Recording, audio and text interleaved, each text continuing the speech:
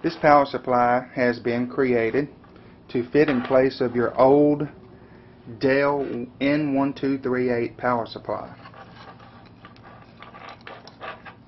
It's got all of the same connectors that your old Dell N1238 power supply had. We've got the 20 pin ATX connector. We have a P4 connector. We have three of the Molex connectors that you might find going into your CD-ROM or your hard drive. We've got your floppy drive connector. And we've also got the hard to find Dell P6 connector. It's this connector that made your N1238 power supply so unique, so hard to find.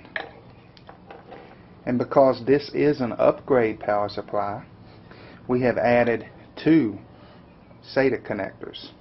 These SATA connectors will come in handy in case you ever have to replace the hard drive in your old Dell system. A lot of the new hard drives are uh, SATA. They're powered by SATA. And your old power supply just did not have this connection on it. And you were limited as what you could use on your machine. So this new power supply not only fits, but it's also an upgrade electrically as you can see, the new power supply fits just like your old one. The two locking mechanisms are in the same place on both power supplies. So you just slide it right in and it should lock in place. Now your old power supply may look exactly like this or it may have a little green handle on the back of it. Some of some of them had green handles and some of them don't. So don't let that concern you.